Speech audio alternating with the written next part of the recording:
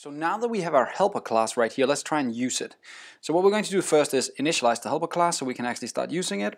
Go to the very top and I'll just create it all the way in the top. I'll make a helper of the type helper, right? There we go.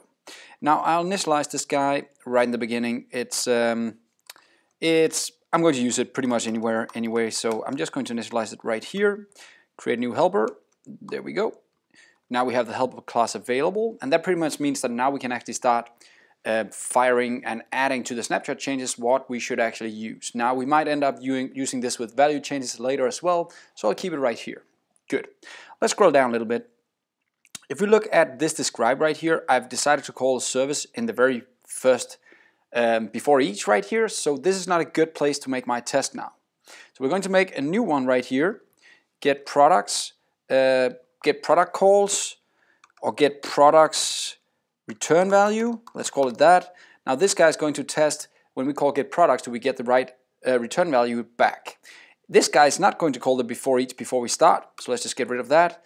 Instead, we're going to just get rid of these guys and make our first function right here, right?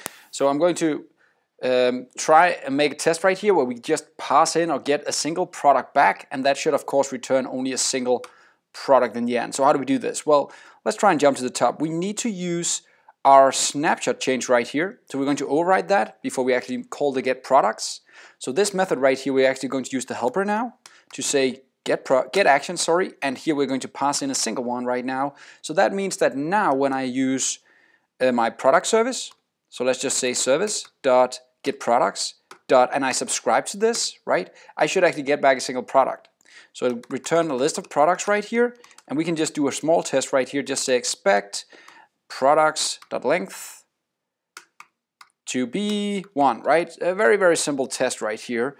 Um, so now the goal is pretty much that we are calling right here, we're saying that instead of the snapshot changes returning an empty array, it's actually going to return a list of our actions right here with all this data right here. Now notice the data we're sending in is actually not a product. That's very important to notice. The data we're sending in is actually a payload uh, as an action that we're using from Firestore, right? So, but it does change into a list of products somehow. We'll figure that out in the next couple of lessons. But this is a very simple test just to figure out if we're actually up and running with the get products right here. So let's try and check out our, um, our actual window right here. And it seems if we go down, product service get products return value, it returns a single product. Well, let's just for the fun of it, add one more where we just try to test what if we try to send in uh, 10 products instead of one, just to try and see if that works. There we go. So we'll add this and we expect it to be 10 now.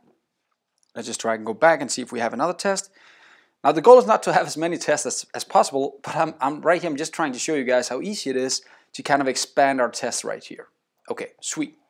Now, what's actually exciting right here is to do one more test, and that is to figure out that what I'm passing in right here is actually a product, right? Because you'll notice right here, the ID is out here, and then there's some kind of data right here. So there must be some kind of manipulation with the data for this to be a product. So I'll do one more test right here. I'll say if I pass in a single product right here, I expect that it should be a product. Return a single product. Get products, return single product with correct properties, right? Correct properties. There we go. So now that we've set up the function, let's try and use it. So we kind of expect right here that when we set up a single product right here, we expect to get something back. Let me just paste this in. So I expect that what I'm getting back is actually, I can expect the first product, since I only have a single product, I expect the first product right here should be the product with ABC0, ABC0, and def0, which is pretty much just what we should end up lining up right here, ABC0, ABC0, and def0 zero like this. So let's actually see if the test is running now. And it seems we have failure. It seems that they're not the same. And that's probably because this is not the same object.